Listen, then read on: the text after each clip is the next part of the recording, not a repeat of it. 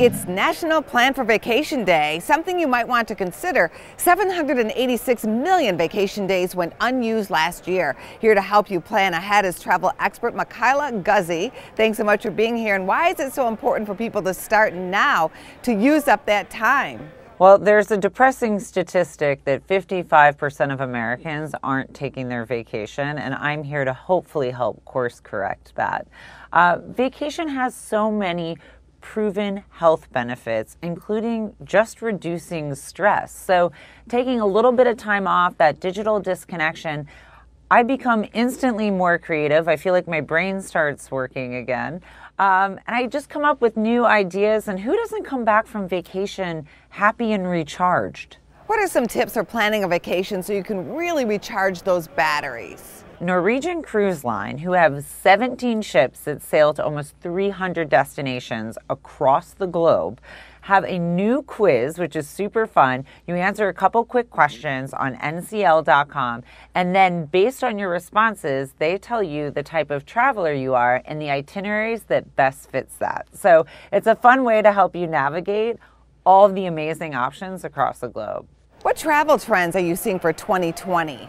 In 2020, I am seeing a ton of trends emerging, and probably the first and foremost one I would say is experiences, not stuff. And so, how does that relate to travel? Well, if you look at Norwegian Cruise Line, um, they have thousands and thousands of experiences across the 300 destinations that they sail to. So the Norwegian Encore is the newest ship in the fleet.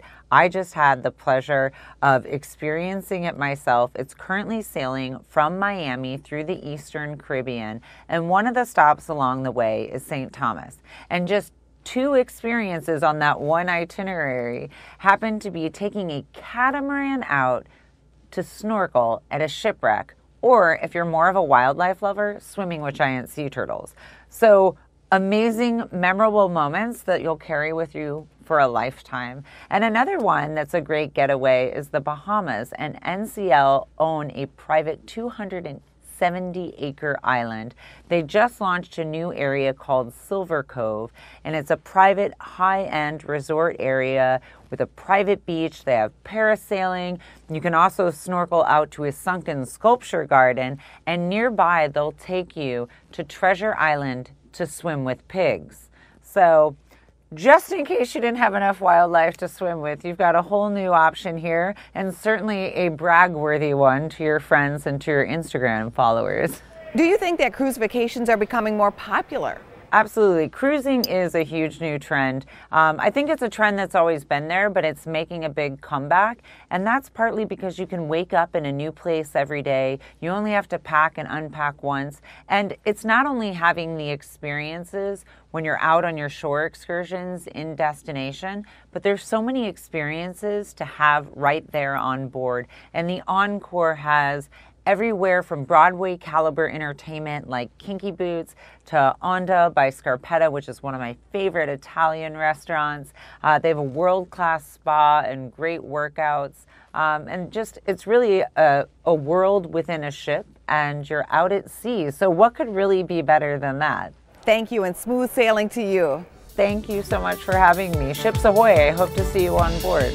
Ahoy, matey!